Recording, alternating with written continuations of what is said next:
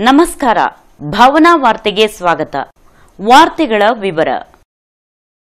ಮದುವೆ ಮನೆ ಎಂದ ಮೇಲೆ ವಾದ್ಯ, ಸಂಭ್ರಮ, ಸಂಬಂಧಿಕರ ಓಡಾಟ, ಮದುಮಕ್ಕಳ ಸಂತೋಷ, ಇವೆಲ್ಲ ಒಂದೆಡೆಯಾದರೆ ಇನ್ನೊಂದು ಕಡೆ ಶಾಸ್ತ್ರಬದ್ಧವಾಗಿ ಪುರೋಹಿತರ ಸಂಸ್ಕೃತ ಮಂತ್ರಘೋಷ ನಡೆಯುತ್ತಿರುವುದು ಸಾಮಾನ್ಯ. ಸಂಸ್ಕೃತ ಮಂತ್ರಘೋಷ ಎಲ್ಲೆಡೆ ಸರ್ವೇ ಸಾಮಾನ್ಯ. ಆದರೆ ಇಲ್ಲೊಂದು ಮದುವೆ ವಧುವರರ ಕನ್ನಡ ಭಾಷೆಯ ಮೇಲಿನ ಗೌರವ ಅಭಿಮಾನದ ಸಂಕೇತದಂತೆ ಕನ್ನಡದಲ್ಲಿ ಮಂತ್ರಕೋಶದೊಂದಿಗೆ ಸಂಪ್ರದಾಯಬದ್ಧವಾಗಿ ಬುಧವಾರದಂದು ವಿಭಿನ್ನ ರೀತಿಯಲ್ಲಿ ಕನ್ನಡಮಯ ಮದುವೆ ನಡೆದಿದೆ. ಇತ್ತೀಚೆಗೆ ಕನ್ನಡ ಅಭಿಮಾನ ಎನ್ನುವುದು ಕೇವಲ ಪ್ರಚಾರಕ್ಕೆ ಮತ್ತು ನವೆಂಬರ್ ಒಂದನೇ ತಾರೀಕಿಗೆ ಮೀಸಲಾಗಿತ್ತು. ಆದರೆ ಇಲ್ಲೊಬ್ಬ ಕನ್ನಡ ಪ್ರೇಮಿ ಶಿರೂರ್ ಮೂಲದ ಬೈಂದೂರ್ ತಾಲೂಕ್ ಉದಯವಾಣಿ ವರದಿಗಾರ ಅರುಣ್ ಕುಮಾರ್ ಪೂಜಾರಿ ಇವರು ಬುಧವಾರದಂದು ತಾಲೂಕಿನ ಶ್ರೀ ನಾಗಯಕ್ಷೆ ಧರ್ಮಾರ್ಥ ಸಭಾಭವನದಲ್ಲಿ ಅಚ್ಚ ಕನ್ನಡದ ಮಂತ್ರಘೋಷದೊಂದಿಗೆ ಸಂಪ್ರದಾಯಬದ್ಧವಾಗಿ ಮದುವೆ ಆಗುವುದರ ಮೂಲಕ ಪತ್ರಕರ್ತ ಅರುಣ್ ಕುಮಾರ್ ಕನ್ನಡಾಭಿಮಾನವನ್ನು ಮೆರೆದಿದ್ದಾರೆ. ತಾಲೂಕಿನ ಬಂದರ್ನ ಬಿಂದಿಯಾ ಎನ್ನುವ ಯುವತಿಯ ಜೊತೆ ಪತ್ರಕರ್ತ ಅರುಣ್ ಕುಮಾರ್ ವೈವಾಹಿಕ ಜೀವನಕ್ಕೆ ಕಾಲಿಟ್ಟಿದ್ದು, ಅಚ್ಚ ಕನ್ನಡದಲ್ಲಿ ಎಲ್ಲಾ ಸಂಪ್ರದಾಯದೊಂದಿಗೆ ಮದುವೆಯಾದರು. ಕಾಸರಗೋಡು ಮೂಲದ ಹಿರೇಮಗಳೂರು ಕಣ್ಣನ್ ಅವರ ಮಕ್ಕಳು ಹಾಗೂ ಶಿಷ್ಯರ ನೇತೃತ್ವದಲ್ಲಿ ಕನ್ನಡಮಯ ಮದುವೆ ಮಂತ್ರಘೋಷದೊಂದಿಗೆ ಮದುವೆಯನ್ನು ನೆರವೇರಿಸಲಾಯಿತು. ಇವರ ಈ ಸುಂದರ ಕನ್ನಡ ಭಾಷೆಯ ಮಂತ್ರಕ್ಕೆ ಮದುವೆಗೆ ಬಂದ ಎಲ್ಲಾ ಹಿತೈಷಿಗಳು ಸಂಬಂಧಿಕರು ಸ್ನೇಹಿತರು ಸೇರಿದಂತೆ ಗಣ್ಯಾತಿ ಗಣ್ಯರು ಮೆಚ್ಚುಗೆ ಸೂಚಿಸಿದ್ದು ವಧುವರರ ಮುಂದಿನ ಭವಿಷ್ಯ ಸುಖಕರವಾಗಿರಲಿ ಎಂದು ಶುಭ ಕೋರಿದರು.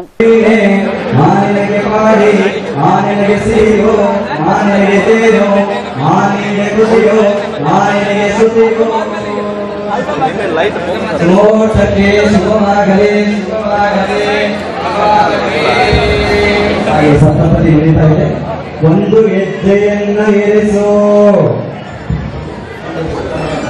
ಒಂದು ಹೆಜ್ಜೆಯನ್ನ ಇರಿಸು ಮನವೃತ್ತಿಗೆಂದೆ ಅಂತೆ ಇರಿಸದ ಅಂದೆನಲ್ಲ ಆ ನಿನ್ನ ಹಿಂದೆ ಹೆಜ್ಜೆ ಎರಡನ್ನು ಇರಿಸು ಹೆಜ್ಜೆ ಎರಡನ್ನು ಇರಿಸು ಬಲವೃತ್ತಿಗೆಂದೆ ಅಂತೆ ಇರಿಸದ ಬಂದೆನಲ್ಲ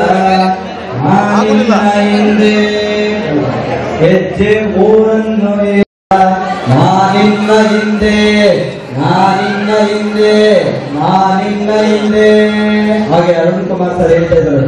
ಯೌವನ ಬಿದ್ದರೆ ಸಾಲದು ದುಡಿಯುವ ಉದ್ಯೋಗವಿದ್ದರೆ ಸಾಲದು, ಪ್ರಾಮಾಣಿಕ ಪರಿಶ್ರಮವಿರಬೇಕು. ಇದು ಹೇಳ್ಬೇಕಲ್ವ ಸರ್? ಹೇಳಬೇಡ. ಮದುವೆಯಾದರೆ ಸಾಲದು, ಹೊಂದಾಣಿಕೆ ಇರಬೇಕು. ಮಕ್ಕಳಾದರೆ ಸಾಲದು, ಸಂಸ್ಕಾರ ಕೊಡಬೇಕು. ಮನೆ ಕಟ್ಟಿದರೆ ಸಾಲದು, ಮನುಷ್ಯನ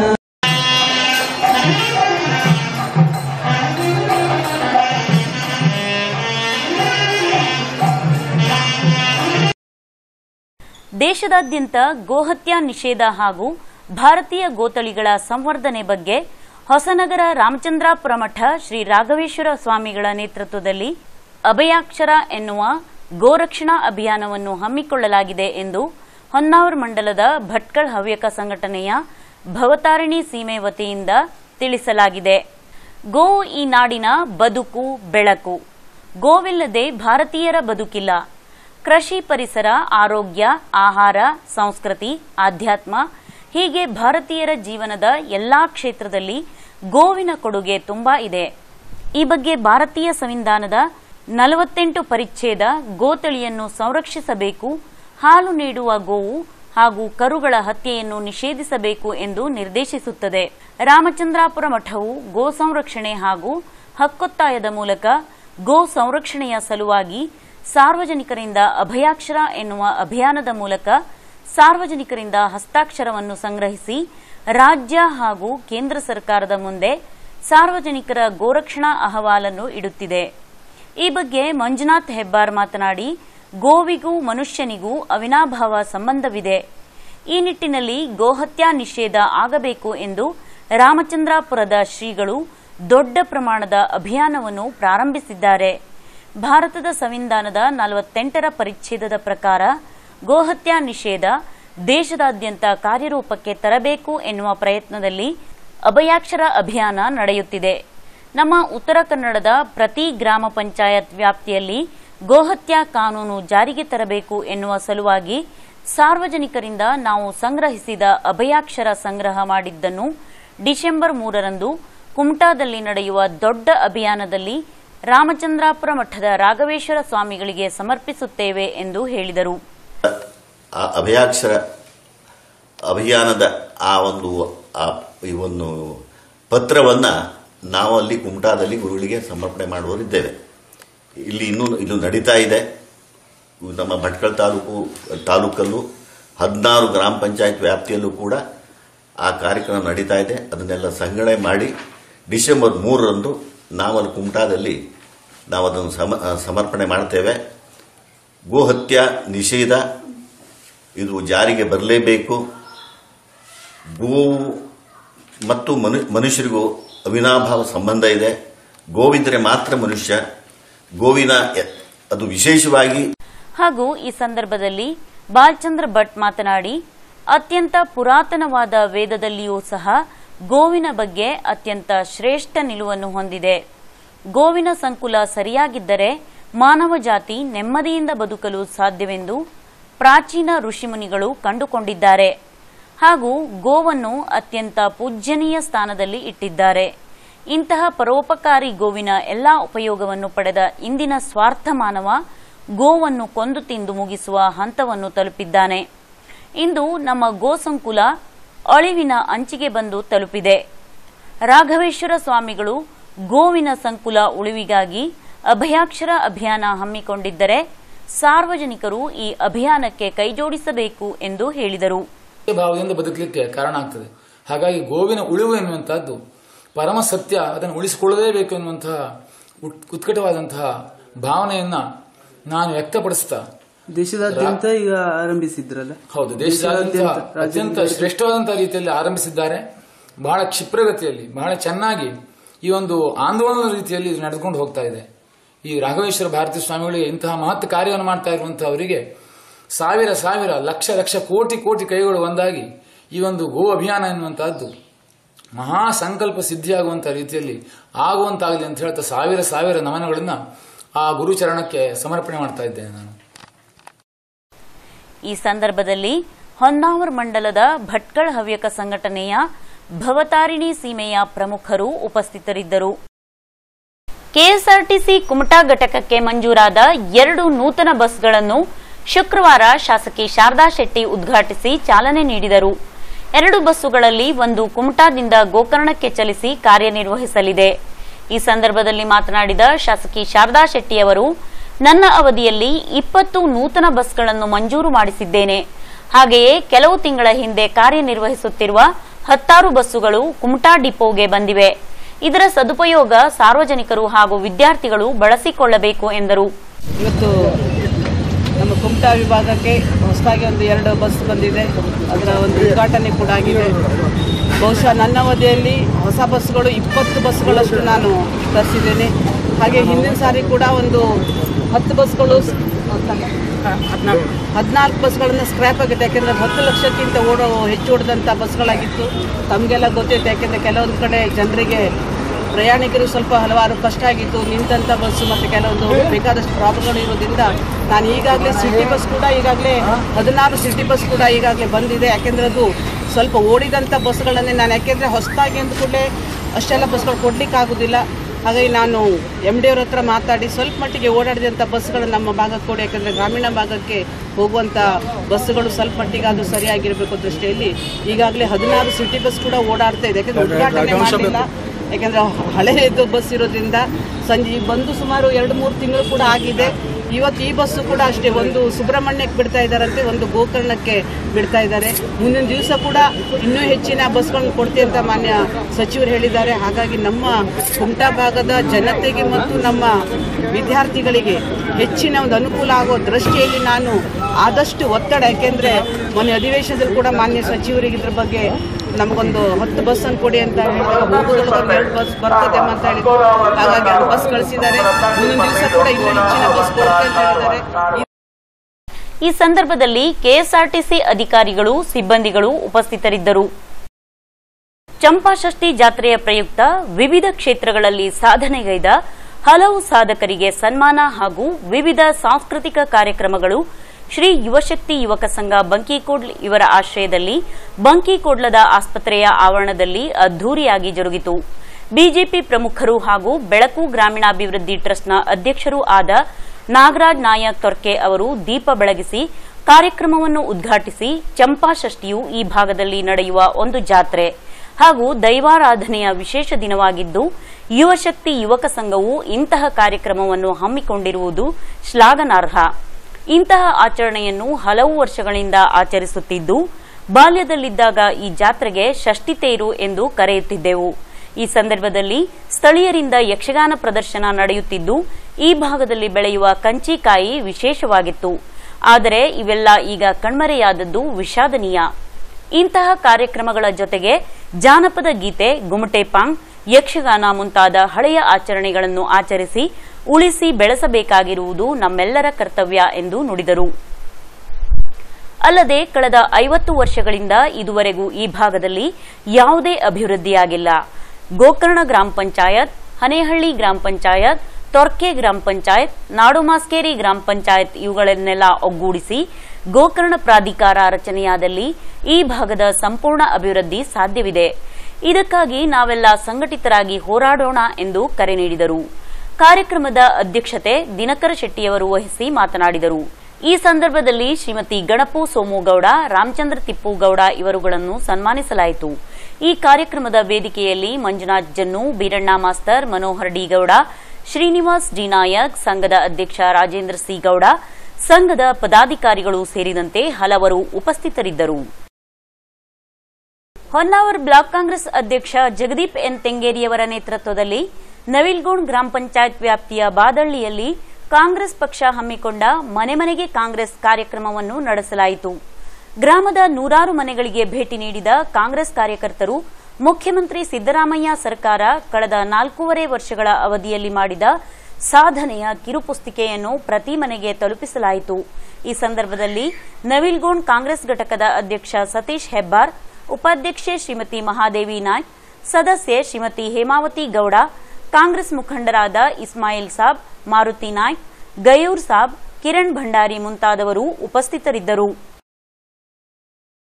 ಭಟ್ಕಳ ತಾಲೂಕಿನ ಕಡವಿನಕಟ್ಟೆ ಶ್ರೀ ದುರ್ಗಾಪರಮೇಶ್ವರಿ ದೇವಸ್ಥಾನ ಎಂಟುನೂರು ವರ್ಷಗಳ ಇತಿಹಾಸ ಇರುವ ಪ್ರಸಿದ್ಧ ಪುಣ್ಯಕ್ಷೇತ್ರದಲ್ಲಿ ಒಂದಾಗಿದ್ದು ಶ್ರೀ ಕ್ಷೇತ್ರದಲ್ಲಿ ಡಿಸೆಂಬರ್ ಆರರಿಂದ ಹತ್ತರ ತನಕ ಲೋಕ ಕಲ್ಯಾಣಾರ್ಥ ನಿಮಿತ್ತ ಶತಚಂಡಿ ಯಾಗ, ಯಜುರ್ವೇದ ಪಾರಾಯಣ ನವಾಕ್ಷರಿ ಜಪ ನಡೆಯಲಿದೆ ಎಂದು ದೇಗುಲದ ಅಧ್ಯಕ್ಷ ರಮೇಶ್ ಆಚಾರ್ಯ ಮಾಧ್ಯಮಕ್ಕೆ ತಿಳಿಸಿದರು. ತಾಲೂಕಿನ ಶಕ್ತಿ ಸ್ಥಳಗಳಲ್ಲಿ ಒಂದಾಗಿದ್ದು, ಈ ಕಡವಿನಕಟ್ಟೆ ಶ್ರೀ ಕ್ಷೇತ್ರ ಸುಂದರ ತಾಣವೂ ಆಗಿದ್ದು, ನಂಬಿ ಬಂದ ಭಕ್ತರ ಪಾಲಿನ ಪವಾಡ ಸ್ಥಳವೂ ಸಹ ಆಗಿದೆ. ಪ್ರತಿದಿನ ನೂರಾರು ಸಂಖ್ಯೆಯ ಭಕ್ತರು ಶ್ರೀದೇವಿಯ ದರ್ಶನ ಪಡೆದು ತಮ್ಮ ಕಷ್ಟಗಳಿಗೆ ಪರಿಹಾರ ಕಂಡುಕೊಳ್ಳುತ್ತಿದ್ದಾರೆ. ದೇವಸ್ಥಾನದಲ್ಲಿ ಇಪ್ಪತ್ತೈದು ಲಕ್ಷ ರುಗಳ ವೆಚ್ಚದಲ್ಲಿ ನೂತನ ಯಾಗಶಾಲೆಯು ನಿರ್ಮಾಣವಾಗಿದ್ದು, ಇಲ್ಲಿ ಶತಚಂಡಿ ಯಾಗ ನಡೆಯಲಿದೆ.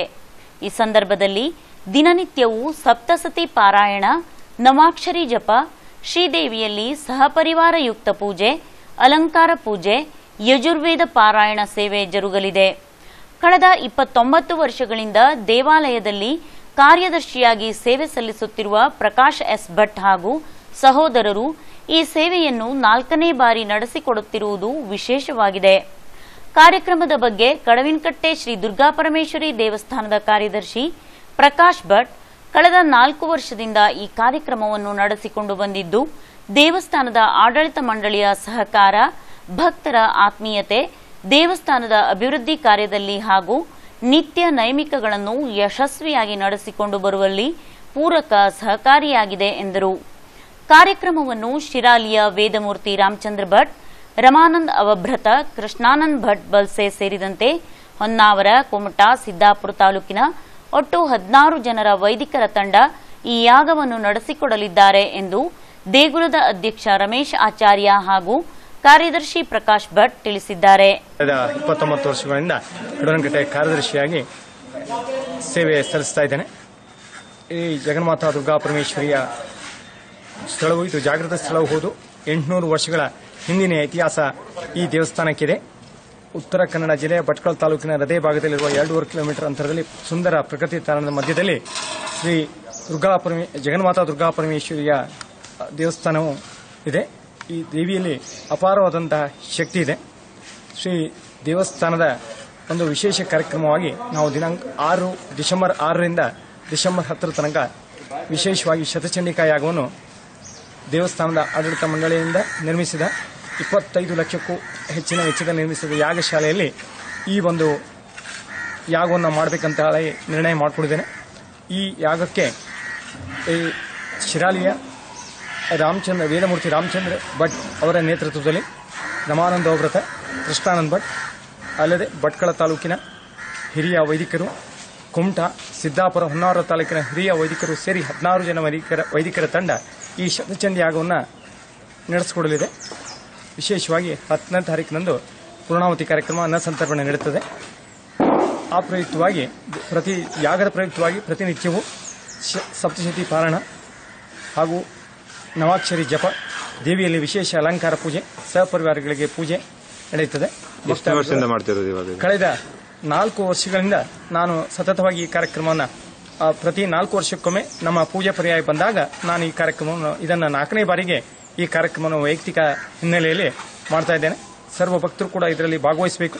ಮತ್ತು ಸಮಸ್ತ ಭಕ್ತರಿಗೂ ಸನ್ಮಂಗಲವಾಗಲಿ ಅನ್ನೋ, ಉಂಟಾಗಲಿ ಅನ್ನುವಂಥ ವಿಶೇಷವಾದಂತಹ ಸಂಕಲ್ಪದಿಂದ ಈ ಕಾರ್ಯಕ್ರಮ ಆರಂಭವಾಗುವುದು ಇಲ್ಲಿಯ ವಿಶೇಷತೆ. ಉತ್ತರ ಕನ್ನಡ ಜಿಲ್ಲಾ ಮಟ್ಟದ ಯುವಜನೋತ್ಸವವು ಶಾಸಕರ ಕನ್ನಡ ಮಾಧ್ಯಮ ಮಾದರಿ ಹಿರಿಯ ಪ್ರಾಥಮಿಕ ಶಾಲೆ ನೆಲ್ಲಿಕೇರಿ ಕುಮಟಾ ತಾಲೂಕಿನಲ್ಲಿ ನಡೆದ ಸಾಂಸ್ಕೃತಿಕ ಕಾರ್ಯಕ್ರಮದಲ್ಲಿ ಬೀನಾ ವೈದ್ಯ ಪದವಿ ಪೂರ್ವ ಮತ್ತು ಪದವಿ ಕಾಲೇಜಿನ ಏಕಾಂಕ ನಾಟಕ ತಂಡವು ಪ್ರಥಮ ಸ್ಥಾನ ಗಳಿಸುವುದರೊಂದಿಗೆ ರಾಜ್ಯ ಮಟ್ಟಕ್ಕೆ ಆಯ್ಕೆಯಾಗಿರುತ್ತದೆ. ಹಾಗೆಯೇ ಸಚಿನ್ ಹೆಗ್ಡೆ ಕರ್ನಾಟಕ ಸಂಗೀತದಲ್ಲಿ ಪ್ರಥಮ ಸ್ಥಾನ ಗಳಿಸುವುದರೊಂದಿಗೆ ರಾಜ್ಯ ಮಟ್ಟಕ್ಕೆ ಆಯ್ಕೆಯಾಗಿರುತ್ತಾನೆ. ಈ ಕಾರ್ಯಕ್ರಮದಲ್ಲಿ ದಿನೇಶ್ ಶೆಣೈ ಕರ್ನಾಟಕ ಸಂಗೀತದಲ್ಲಿ ದ್ವಿತೀಯ ಸ್ಥಾನ ಮತ್ತು ಹಾರ್ಮೋನಿಯಂ ವಿಭಾಗದಲ್ಲಿ ತೃತೀಯ ಸ್ಥಾನವನ್ನು ಗಳಿಸಿರುತ್ತಾನೆ. ತಬಲಾ ವಾದನದಲ್ಲಿ ನಾಗಾರ್ಜುನ್ ಭಟ್ ದ್ವಿತೀಯ ಸ್ಥಾನವನ್ನು, ಹಾರ್ಮೋನಿಯಂ ವಿಭಾಗದಲ್ಲಿ ಸಚಿನ್ ಹೆಗ್ಡೆ ದ್ವಿತೀಯ ಸ್ಥಾನವನ್ನು, ಆಶುಭಾಷಣದಲ್ಲಿ ಅಜ್ಜಾ ಅನೀಶ್ ಮನ್ನಾ ದ್ವಿತೀಯ ಸ್ಥಾನವನ್ನು ಮತ್ತು ನಿಖಿತಾ ಕಾರ್ವಿ ಜನಪದ ನೃತ್ಯ ತಂಡವು ತೃತೀಯ ಸ್ಥಾನವನ್ನು ಗಳಿಸಿರುತ್ತದೆ. ಈ ಮೇಲಿನ ಎಲ್ಲಾ ವಿಜೇತರಿಗೆ ಆಡಳಿತ ಮಂಡಳಿಯ ಅಧ್ಯಕ್ಷರಾದ ಶ್ರೀ ಮಂಕಾಳ್ ಎಸ್ ವೈದ್ಯ, ನಿರ್ದೇಶಕಿಯಾದ ಶ್ರೀಮತಿ ಪುಷ್ಪಲತಾ ಎಂಎಸ್ ಕಾಲೇಜಿನ ಪ್ರಾಂಶುಪಾಲರಾದ ಶ್ರೀ ಪ್ರಸಾದ್ ಮಹಾಲೆ ಸಾಂಸ್ಕೃತಿಕ ಕಾರ್ಯಕ್ರಮದ ರೂವಾರಿಯಾದ ಮಹೇಶ್ ಹೆಗಡೆ ಮತ್ತು ನಯೀಂ ಗೋರಿ ಹಾಗೂ ಉಪನ್ಯಾಸಕ ವೃಂದವು ಅಭಿನಂದನೆಗಳನ್ನು ಸಲ್ಲಿಸಿದ್ದಾರೆ. ಜಿಲ್ಲಾಡಳಿತ, ಜಿಲ್ಲಾ ಪಂಚಾಯತ್ ಉತ್ತರ ಕನ್ನಡ ಯುವ ಸಬಲೀಕರಣ ಮತ್ತು ಕ್ರೀಡಾ ಇಲಾಖೆ, ಜಿಲ್ಲಾ ಯುವ ಒಕ್ಕೂಟ ಉತ್ತರ ಕನ್ನಡ, ತಾಲೂಕು ಯುವ ಒಕ್ಕೂಟ ಕುಮಟ, ಸ್ಫೂರ್ತಿ ಸಾಂಸ್ಕೃತಿಕ ಬಳಗ ಮಿರ್ಜಾನ್, ಕುಮಟ ಇವರ ವತಿಯಿಂದ ಉತ್ತರ ಕನ್ನಡ ಜಿಲ್ಲಾ ಮಟ್ಟದ ಎರಡ್ ಸಾವಿರದ ಹದಿನೇಳು ಹದಿನೆಂಟನೇ ಸಾಲಿನ ಯುವ ಜನೋತ್ಸವ ಕಾರ್ಯಕ್ರಮ ಕುಮಟಾ ಶಾಸಕರ ಕನ್ನಡ ಮಾಧ್ಯಮ ಹಿರಿಯ ಪ್ರಾಥಮಿಕ ಶಾಲೆ ನೆಲ್ಲಿಕೇರಿಯಲ್ಲಿ ನಡೆಯಿತು. ಸೂರಜ್ ನಾಯ್ಕ್, ಸೋನಿ ಪ್ರಾಸ್ತಾವಿಕವಾಗಿ ಮಾತನಾಡಿದರು. ಕೂತವ್ರಿಗೆ ಅನ್ಸೋದು ಇದ್ಯಾಕೆ ಜಿಲ್ಲಾ ಯೋಜನ ಮೇಳದ ರೀತಿಯಲ್ಲಿ ನಡೀತಾ ಇಲ್ಲ. ಅದಕ್ಕಿಂತ ಹೆಚ್ಚು ಪ್ರಾತಿನಿಧ್ಯ ಇರುವ ಈ ಒಂದು ಜಿಲ್ಲಾ ಯೋಜನೋತ್ಸವ ಯಾಕೆ ಆ ವಿಜೃಂಭಣೆಯಿಂದ ನಡೆಯುತ್ತಿಲ್ಲ ಅನ್ನೋ ಭಾವನೆ ಇರಬಹುದು ಜಿಲ್ಲಾ ಯೋಜನೋತ್ಸವ ಮತ್ತು ಜಿಲ್ಲಾ ಯೋಜನಾ ಮೇಳ ವ್ಯತ್ಯಾಸ ಅಂದರೆ ಇದು ಜನಪದ ಪ್ರತಿಬಿಂಬ ಪ್ರತಿಬಿಂಬಿಸುವ ಕಾರ್ಯಕ್ರಮನೇ ಜಿಲ್ಲಾ ಯೋಜನಾ ಮೇಳದ ಹಾಗೆ. ಆದರೆ ಜಿಲ್ಲಾ ಯೋಜನಾ ಮೇಳ ರಾಜ್ಯ ಯೋಜನಾ ಮೇಳದವರೆಗಷ್ಟೇ ಸೀಮಿತ ಈ ಜಿಲ್ಲಾ ಯೋಜನೋತ್ಸವ ರಾಜ್ಯ ರಾಷ್ಟ್ರೀಯ, ಅಂತಾರಾಷ್ಟ್ರೀಯ ಮಟ್ಟಕ್ಕವರೆಗೂ ಹೋಗುವಂತ ಏಕೈಕ ವೇದಿಕೆ ಅಂದ್ರೆ ಈ ಜಿಲ್ಲಾ ಯೋಜನೋತ್ಸವ. ಅದರಲ್ಲೂ ಯುವಕರು, ಯುವಕರಿಗೆ ಸೀಮಿತವಾದಂಥದ್ದು. ಆದರೆ ಜಿಲ್ಲಾ ಯೋಜನೋತ್ಸವ ಮತ್ತು ಜಿಲ್ಲಾ ಯೋಜ- ಯೋಜನಾ ಮೇಳಕ್ಕೆ ವ್ಯತ್ಯಾಸ ಇರೋದು, ಇದು ಸ್ವಲ್ಪ ಪ್ರೊಫೆಷನಲ್ ಆಗಿ ಹೋಗುವಂತ ಒಂದು ಉತ್ಸವ. ಅಥವಾ ಇದೊಂಥರ ಎಕ್ಸಾಮ್ ರೀತಿಯಲ್ಲಿ ಆಗುವಂಥದ್ದು ಮುಂದೆ ಇದು ಯಾಕೆ ಆ- ರೀತಿ ಆಗ್ತದೆ ಅಂದ್ರೆ ಇದು ಮುಂದೆ ಹೋಗ್ತಾ ಹೋಗ್ತಾ ಇದ್ದಂಗೆ ರಾಜ್ಯ ಮಟ್ಟಕ್ಕೆ ರಾಷ್ಟ್ರ ಮಟ್ಟಕ್ಕೆ ಆ ರಾಷ್ಟ್ರ ಮಟ್ಟದಲ್ಲಿ ಆಯ್ಕೆಯಾದವರಿಗೆ ಅಂತಾರಾಷ್ಟ್ರ ಮಟ್ಟದಲ್ಲಿ ಪ್ರದರ್ಶನ ಮಾಡುವಂತ ಒಂದು ವೇದಿಕೆ ಸಿಗೋದು ಅಂದ್ರೆ ಈ ಜಿಲ್ಲಾ ಯುವಜನೋತ್ಸವದಿಂದ ಕಾರ್ಯಕ್ರಮವನ್ನು ಶಾಸಕಿ ಶಾರದಾ ಶೆಟ್ಟಿ ಉದ್ಘಾಟಿಸಿ ಮಾತನಾಡಿದರು. ಇವತ್ತು ನಮ್ಮ ಕುಮಟಾ ಶಾಸಕರ ಮಾದರಿ ಶಾಲೆಯಲ್ಲಿ ಯುವಜನೋತ್ಸವ ಒಂದು ಕಾರ್ಯಕ್ರಮ.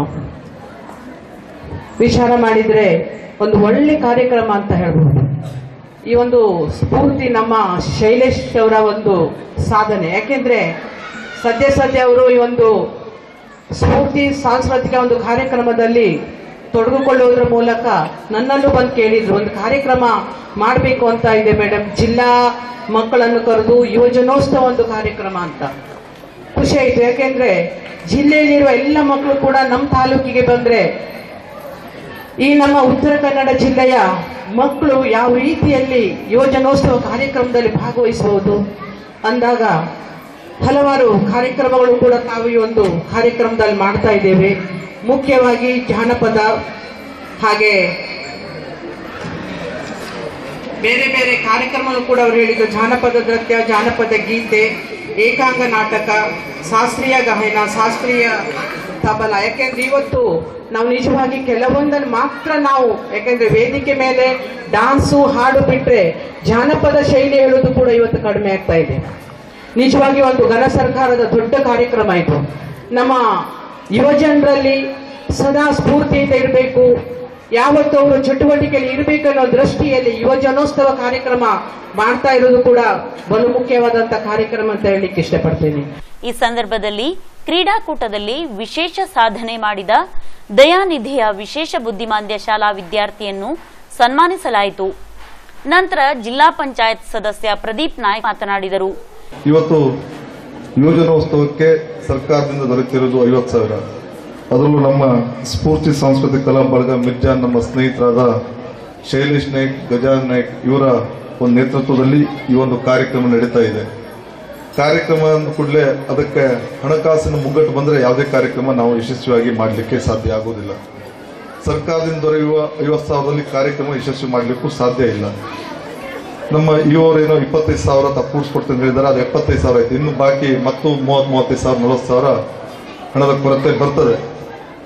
ಅದಕ್ಕೆ ನಾವೆಲ್ಲ ಸೇರಿ ನಮ್ಮ ಸ್ಫೂರ್ತಿ ಕಲಾ ಹಣಕಾಸಿನ ಸೌಲಭ್ಯ ನೀಡುವ ಕೆಲಸ ಮಾಡಿದ್ರೆ ಸುಲಭವಾಗಿ ಮತ್ತು ಯಾವುದೇ ಕಷ್ಟದ ಕಷ್ಟ ಇಲ್ಲದೆ ಈ ಒಂದು ಕಾರ್ಯಕ್ರಮವನ್ನು ಯಶಸ್ವಿಯಾಗಿ ಮಾಡಲಿಕ್ಕೆ ಸಾಧ್ಯ ಆಗ್ತದೆ ಅನ್ನುವ ಮಾತನ್ನು ಈ ಸಂದರ್ಭದಲ್ಲಿ ಹೇಳಲಿಕ್ಕೆ ಬಯಸ್ತೇನೆ. ಹಾಗೆ ನಾನು ಕೂಡ ವೈಯಕ್ತಿಕವಾಗಿ ಈ ಒಂದು ಕಾರ್ಯಕ್ರಮಕ್ಕೆ ನನ್ನಿಂದ ಆಗುವ ಧನ ಸಹಾಯ ನೀಡುತ್ತೇನೆ. ಮತ್ತು ಈಗಾಗಲೇ ಮಾತಾಡಿದ ಹಾಗೆ ಜಿಲ್ಲಾ ಪಂಚಾಯತ್ನಿಂದ ಕೂಡ ನಾನು ರತ್ನಾಕರ್ ನಾಯ್ಕರು ಮತ್ತು ನಮ್ಮ ವೀಣಾ ನಾಯಕರಿದ್ದಾರೆ. ನಾವೆಲ್ಲ ಸೇರಿ ಜಿಲ್ಲಾ ಪಂಚಾಯತ್ ಐದು ಸಾವಿರ ಅಥವಾ ಹತ್ತು ಸಾವಿರವನ್ನು ಹಣ ಕೊಡಿಸುವ ಕೆಲಸವನ್ನು ಕೂಡ ಮಾಡ್ತೀವಿ ಅನ್ನೋ ಮಾತನ್ನು ಈ ಸಂದರ್ಭದಲ್ಲಿ ಹೇಳಲಿಕ್ಕೆ ಇಚ್ಛೆಪಡ್ತಾ ಇದ್ದೇನೆ. ಜಿಲ್ಲಾ ಪಂಚಾಯತ್ ಸದಸ್ಯ ರತ್ನಾಕರ್ ನಾಯ್ಕ್, ವಿಜಯ್ ಪಟಗಾರ್, ಗೀತಾ ಮುಕ್ರಿ, ವೀಣಾ ಸೂರಜ್ ನಾಯ್ಕ್, ರಾಜೇಶ್ ನಾಯ್ಕ್, ಶಿಕ್ಷಕರು, ವಿದ್ಯಾರ್ಥಿಗಳು ಉಪಸ್ಥಿತರಿದ್ದರು. ಶ್ರೀ ಕ್ಷೇತ್ರ ಧರ್ಮಸ್ಥಳದ ಶಾಂತಿವನ ಟ್ರಸ್ಟ್ನ ಯೋಗ ಮತ್ತು ನೈತಿಕ ಶಿಕ್ಷಣ ಯೋಜನೆಯಡಿಯಲ್ಲಿ ಹೊನ್ನಾವರ ತಾಲೂಕಾ ಮಟ್ಟದ ಮೌಲ್ಯಾಧಾರಿತ ಪುಸ್ತಕಗಳ ಕುರಿತಾದ ಸ್ಪರ್ಧೆಯನ್ನು ಹೊನ್ನಾವರ್ ನ್ಯೂ ಇಂಗ್ಲಿಷ್ ಸ್ಕೂಲ್ನಲ್ಲಿ ಹಮ್ಮಿಕೊಳ್ಳಲಾಗಿತ್ತು.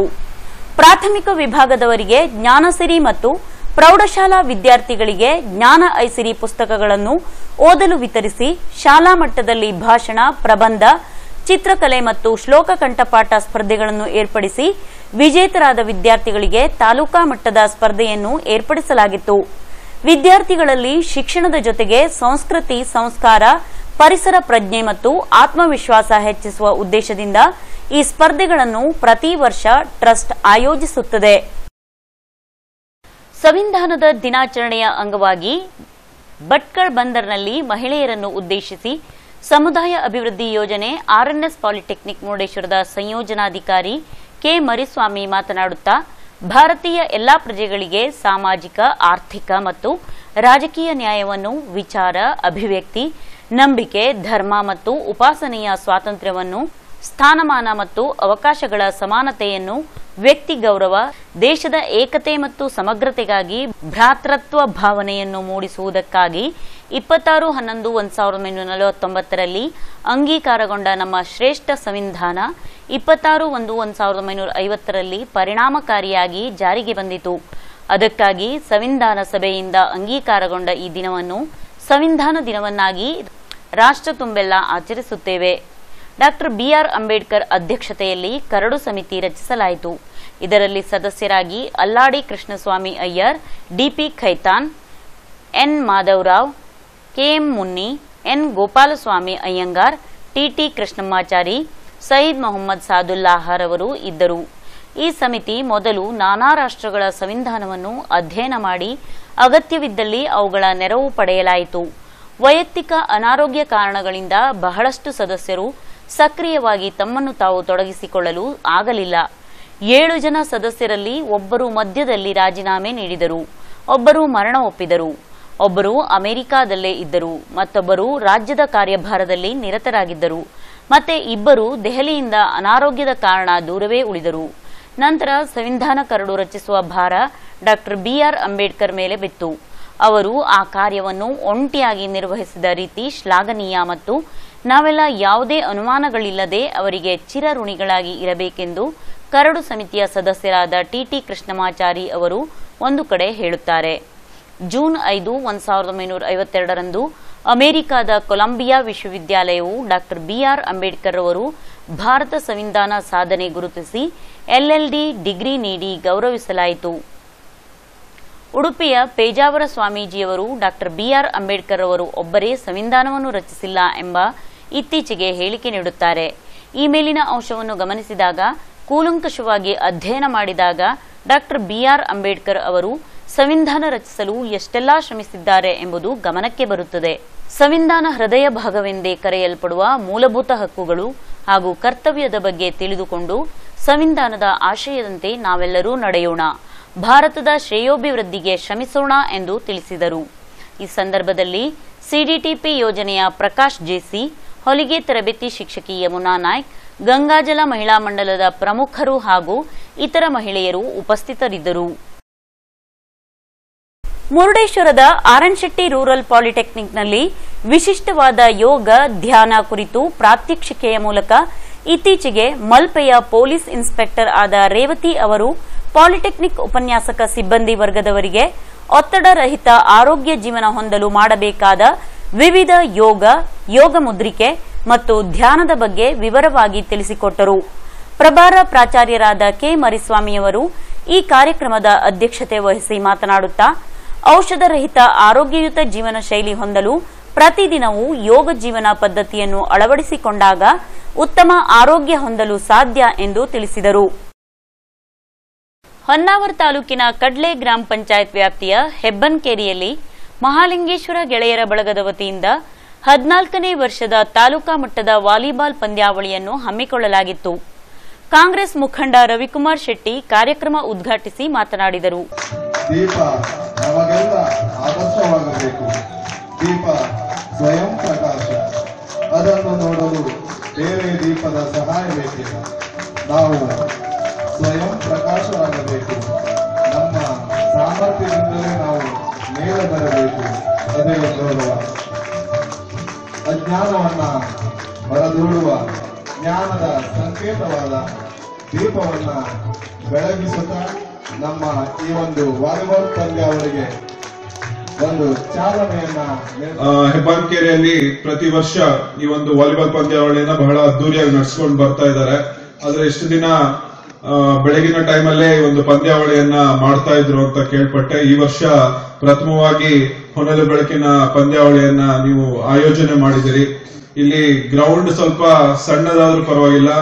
ನಿಮ್ಮ ಒಂದು ಪರಿಶ್ರಮ ಇದರಲ್ಲಿ ಗೊತ್ತಾಗ್ತದೆ ನಮ್ಗೆ. ಈ ಒಂದು ಶಾಲಾ ಆವರಣದಲ್ಲಿ ಈ ಒಂದು ವೇದಿಕೆ ಕಾರ್ಯಕ್ರಮ ಮತ್ತೆ ಕೆಳಗಡೆ ಚಿಕ್ಕ ಗ್ರೌಂಡ್ ಅಲ್ಲಿ ಒಂದು ಅದ್ಭುತವಾದಂತಹ ಗ್ರೌಂಡ್ ಅನ್ನ ನಿರ್ಮಿಸಿಕೊಟ್ಟಿದ್ದೀರಿ. ಹಾಗಾಗಿ ಮೊದಲನೇದಾಗಿ ನಾನು ಮಹಾಲಿಂಗೇಶ್ವರ ಗೆಳೆಯರ ಬಳಗದ ಎಲ್ಲ ಸದಸ್ಯರಿಗೆ ಅಭಿನಂದನೆಗಳನ್ನ ತಿಳಿಸೋದಕ್ಕೆ ಇಷ್ಟಪಡ್ತೇನೆ.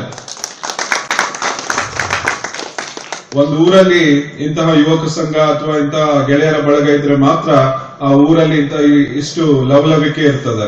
ಇವತ್ತು ವರ್ಷದಲ್ಲಿ ಒಂದೇ ಕಾರ್ಯಕ್ರಮ ಆದ್ರೂ ಪರವಾಗಿಲ್ಲ. ಎಲ್ಲರನ್ನ ಸೇರಿಸುವಂತಹ ಕೆಲಸ ಈ ಒಂದು ಯುವ ಬಳಗದವ್ರು ಮಾಡ್ತಾ ಇದ್ದಾರೆ. ಬಹಳ ಸಂತೋಷ.